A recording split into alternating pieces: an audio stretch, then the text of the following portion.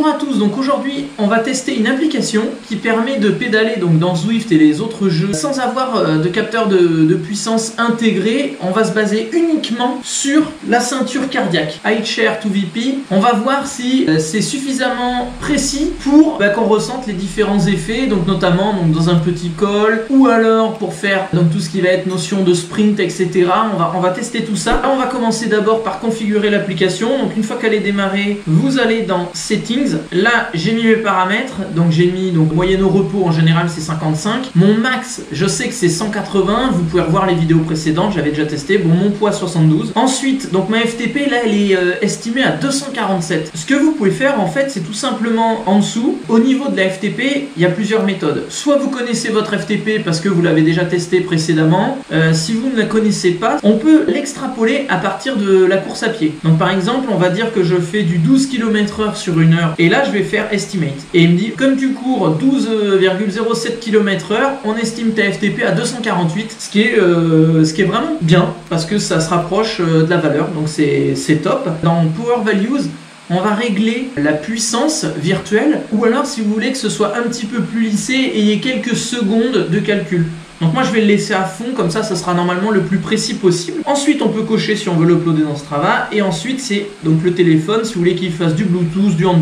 Moi j'ai tout coché. On va régler donc les capteurs. Donc là il y a plusieurs capteurs possibles. Donc le capteur rythme cardiaque, le capteur de cadence. Donc si je commence par le capteur de cadence, donc je fais Add. Euh, là je vais choisir, je crois que ça Hand Plus ça marche bien. Est-ce que je veux moduler la power par rapport à la cadence? Oui, bah oui, comme ça sera plus précis. Donc là il me dit bon je suis déjà connecté. Il va en détecter plusieurs, tout simplement parce que j'ai mon capteur de cadence sur le vélo, euh, donc sur un levier du pédalier, et il y en a un autre à l'arrière dans le home trainer. Bien sûr, moi je vais faire comme si euh, j'avais rien dans le home trainer, hein. donc euh, je, passe uniquement par celui qui, est vraiment sur le, pédalier. Et ensuite, rythme cardiaque, j'en ai pas parlé tout à l'heure, mais alors le plus précis effectivement, c'est d'utiliser une ceinture cardiaque. Ça sera plus précis que à la montre. Donc là, on va voir. J'ai peur qu'il m'en détecte plusieurs, mais là je vois qu'elle me détecte toujours le même, donc ça doit être le bon. Hein. Ouais, ça semble bon. Capteur de cadence autour des 70, capteur cardiaque autour de 108. Super. Donc maintenant, on va passer donc sur Zwift pour régler tout ça. Là, je peux lui dire pour la fréquence cardiaque, tu vas utiliser l'application. Ensuite, pour la cadence, c'est pareil.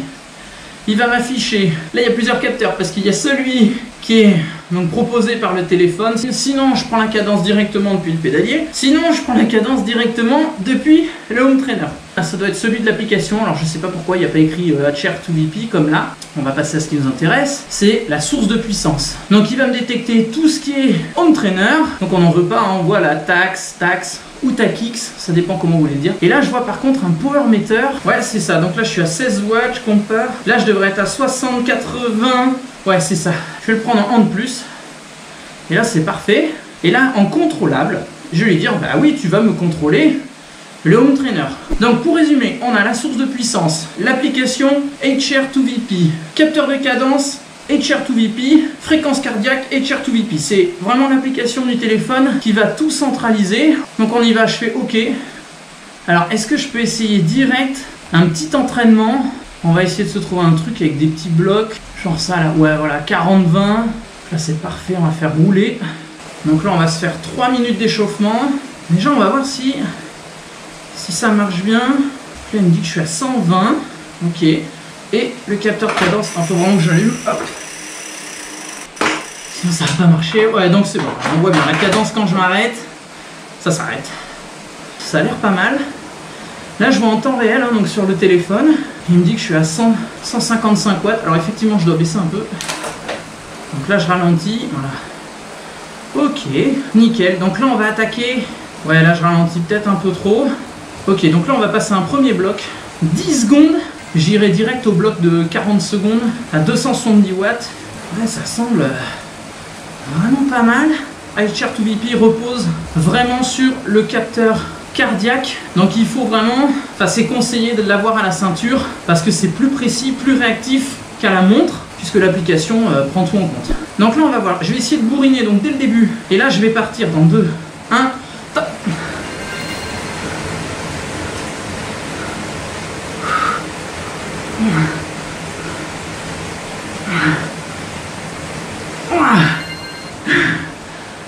donc là je redescends. Ouais, ok. ça marche. Effectivement, bon là il me détecte un 300 watts, mais je suis en train de, récupérer. Là on est vraiment sur un exo super super extrême parce qu'on fait du vraiment du 10 secondes de sprint et 50 secondes de récup. Tout est basé vraiment sur le rythme cardiaque, donc c'est pas facile. Allez on y retourne, on recommence. 3, 2, 1, top Là j'y vais. Le rythme cardiaque va monter. Je fais pas semblant, hein. je suis à 107 tours minute. Voilà, je ralentis. Donc là, on voit, il y a un petit peu de lag. Ok, pour lui, en temps réel, il calcule. On voit, ça fait I6. C'est les zones cardiaques ou en watts, hein, c'est pareil, c'est une échelle. Ok. Bon, on va dire qu'on a testé. Donc ça marche bien. Il y a un petit peu de lag, forcément. Mais si on joue le jeu, ça marche très très bien. Faut juste être. Euh, faut pas attendre sur ce type de sprint une vitesse en temps réel quoi. Ça va mettre quelques secondes mais ça fonctionne très bien. Donc là j'avance, voilà, un petit 5 minutes, 225 watts. Je connais bien, on est 30 euh, watts sous ma FTP, donc là je repars. Je pense que je devrais être à peut-être 140, on va voir. Donc là c'est le top parce que je vais me stabiliser. Donc le rythme cardiaque va être très stable. Je vise une cadence de 90 tours par minute, pas mal. Donc là c'est pareil. Ouais j'ai dit 140, je pense être 145. Ouah, c'est génial Ok, bah voilà, ça marche très bien. En voiture, ouais, voilà, entre 140 et 145. Et là, il m'affiche bien 213, 216 watts. Donc c'est parfait. Après, il y a Zwift en plus qui, qui relisse derrière, on va dire, les données. Ah ouais, dès que je ralentis un peu, je suis sanctionné, bah, comme en vrai. Allez, on va se tester un petit sprint. Ça va être violent, mais c'est 40 secondes. 270 watts à 95. Donc là, je vais à 95. Ok, donc là ça monte. Ouais, nickel J'ai un petit peu trop euh, mis de cadence. Voilà, je ralentis. Non, c'est parfait là. On va voir à l'arrivée. Donc je me remets à 80 tours par minute. Voilà, c'est le test euh, grandeur nature. Voilà, je me mets à 80. Les watts descendent doucement, mais forcément c'est le rythme cardiaque qui est basé dessus. Et là, faut repartir. 95. Donc vu que je suis déjà à 148 BPM, ça va remonter tranquille. Voilà, non mais parfait. Là c'est. Ça sent vraiment crédit parce que 270 watts, je suis un peu plus comme FTP. Donc 155 BPM, ça c'est bon. Et les watts derrière. Ouais, je pense que c'est cool. Ok, j'aime bien. C'est vraiment pratique hein. pour celui qui n'a pas de capteur de puissance dans le trainer ou quoi, il peut s'amuser et s'entraîner. Je vais me faire une bonne minute de repos pour que mon rythme cardiaque redescende. Voilà, donc ça descend gentiment.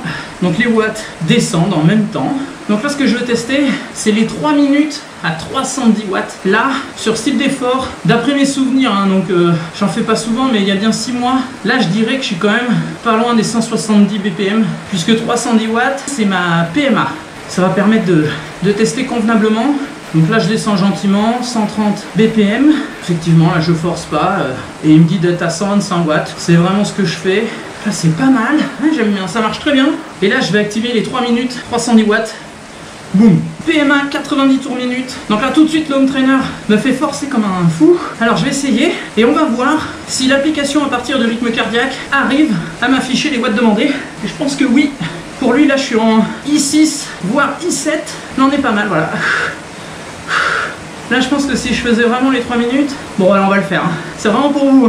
Donc là, je mets un peu trop de cadence. Donc là, ça monte hein, gentiment. On va faire 160. Si je regarde à la montre, ouais, voilà, je suis dans les choux à la montre. Il me dit 90 BPM parce que je commence à trop transpirer. Alors que là, la ceinture cardiaque, 160 BPM, c'est parfait pour sortir 310 watts. Il en faut pas moins. Allez, 50 secondes.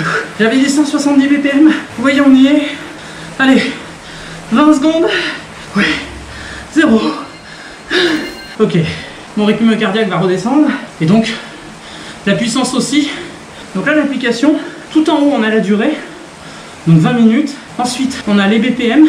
Les barres en vert, c'est pour vous indiquer dans eh la qualité de la réception de la ceinture cardiaque. Dessous, c'est le capteur de cadence qui est sur mon vélo. Et ensuite, là, vous avez les watts calculés ou alors vous avez les watts par kilo également. Et on voit l'estimation du nombre de kilomètres et les fameuses kilocalories. Vous pourrez bientôt manger une chocolatine en, récompense. C'est vraiment sympa, j'avoue. En tout cas, on peut vraiment, vraiment transpirer. Maintenant, j'ai envie de voir ce que ça donne quand on fait une rando. On va se faire un petit parcours. Voilà, on va se faire ça. 4 km avec une bosse. Là, je pédale. Oh, J'aurais jamais dû m'arrêter aussi vite, mais ouh, ça pique. Là, c'est parti. On va s'échauffer un peu. On va voir du coup. Voilà, c'est bien là. Voilà, 130 BPM, 80 tours minute. Donc il part un peu à la hausse. Non, c'est bon. Ça fait des petits pics, mais tout de suite, c'est corrigé. Petite côte à 6%. 9 même. Donc là, ça va monter. Voilà. Ouais, ok. Donc là, j'envoie les, les watts. Ouais, c'est bon, là, tout de suite. Le rythme cardiaque monte, parce que j'ai quand même essayé d'atteindre les 80 tours minute sans toucher au ratio. Là, je bourrine. 155 BPM. Ouais, ça, ça a l'air crédible. Allez, on arrive en haut. Et là, je coupe. 330. Ah, c'est bon, ça baisse tout de suite. Ouais, je suis monté à 160 BPM. Donc ça, ça c'est vraiment là. Je me répète, mais rythme cardiaque et cadence sont des valeurs non transformées. hein. Alors là, il y a un sprint. Il est juste là. Allez, j'essaye. Deuxième plateau, c'est parti. Allez, on y va. Après, il met du temps à partir. Là, je suis tout à droite. Voilà. Ouais, c'est crédible à fond. Ok, là, je repars. Premier plateau, je me mets milieu de cassette. Donc ça met un petit peu de temps à descendre, mais pas tant que ça. C'est vraiment négligeable. Vous voyez, c'est pas basé uniquement sur les valeurs cardiaques, puisque mon cœur lui est quand même à 155. Mais vu que ma cadence est plus faible, tout de suite, l'application elle a compris que, que je m'étais, euh, j'étais au repos. Donc je pense que c'est, c'est vraiment intéressant. Voyez là, je suis à 130 watts, peinard. Ah, j'ai pas regardé à combien de watts par kilo j'étais. Là j'ai vu du 400, 450 watts, ce qui est totalement crédible. Là, le problème c'est que je suis parti un peu tard sur le sprint. Ok, donc la petite côte à 2%. Là je vais remettre de la dynamique. Voilà, les BPM qui montent. Les watts aussi. Super. Et là je coupe en haut. Voilà, donc les watts redescendent. La cadence aussi.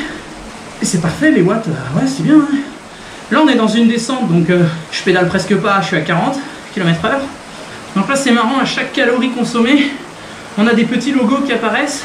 Et là, vous voyez, là, tranquille, 125 BPM et 90 tours minute. Vu que c'est en légère descente, c'est parfait. Est-ce qu'on monte?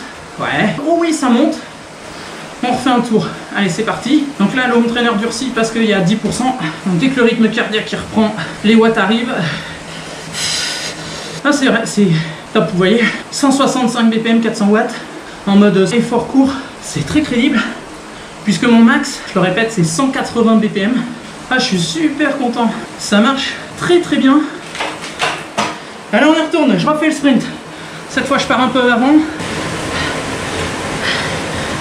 Ça met un peu de temps à monter les watts.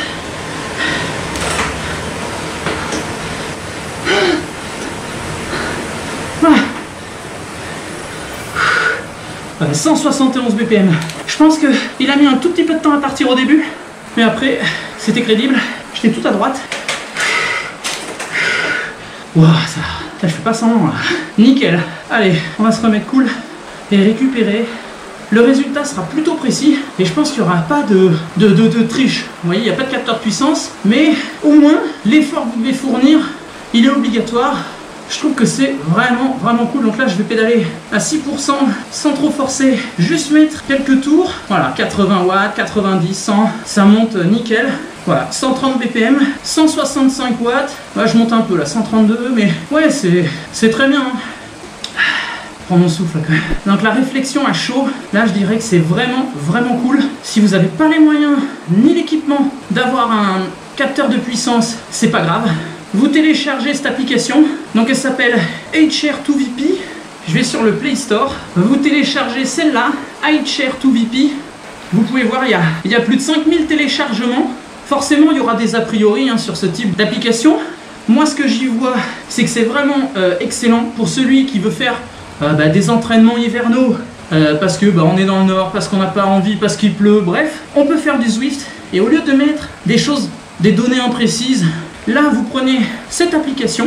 Ce qu'il vous faut, c'est un capteur cardiaque précis. Donc j'insisterai sur la ceinture plutôt que la montre. Et ensuite, je rajouterai quand même un petit capteur de cadence à 30 euros. Et du coup, HR2VP, il va croiser ces deux données. Il va vous faire une puissance en watts évaluée virtuellement.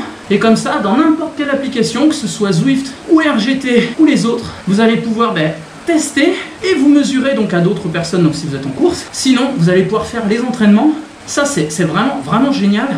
Si vous faites des randonnées, bon bah là je crois que c'est euh, le top, hein, ça sera hyper précis, il n'y a pas de problème. Là franchement, très très très agréablement surpris. C'est vraiment euh, une super... euh, Enfin c'est une bonne idée. Moi je, vous recommande de tester. Et vous me dites en commentaire ce que vous en pensez. Même si vous avez un home trainer comme moi ou des capteurs puissance, peu importe, vous pouvez tester et vous faire un avis. Et je serai ravi d'en débattre avec vous. Moi je remercie HR2BP de m'avoir donc offert une, une licence hein, pour tester l'application. Et je vous... Punaise j'ai du mal. Et sur ce, bah, je vous souhaite un bon entraînement. Voilà, éclatez-vous à vélo. C'est l'hiver, mais c'est pas grave, on fait quand même du vélo. Et je vous dis à très bientôt. Ciao